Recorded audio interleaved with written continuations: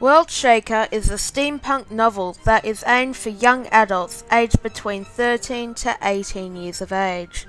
This fantastic steampunk novel has a great character plot and shows the reader how people used to live in the Victorian era. The steam juggernaut has the ability to destroy everything in its path, leaving everything as a wasteland.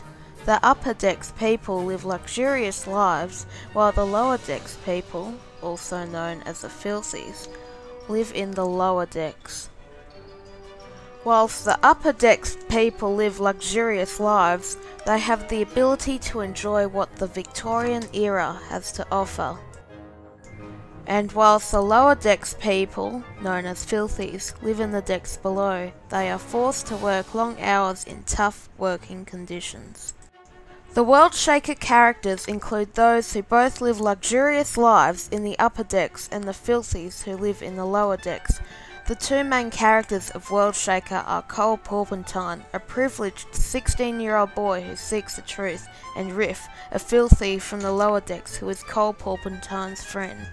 But one day, Cole and Riff came up with a great plan to escape the lower decks.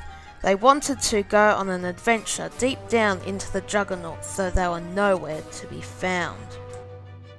World Shaker by Richard Harland is a steampunk novel designed for young adults aged 13 to 18 years. This book shows how people used to live in the Victorian age and also has a great character plot showing the events that used to happen in that era.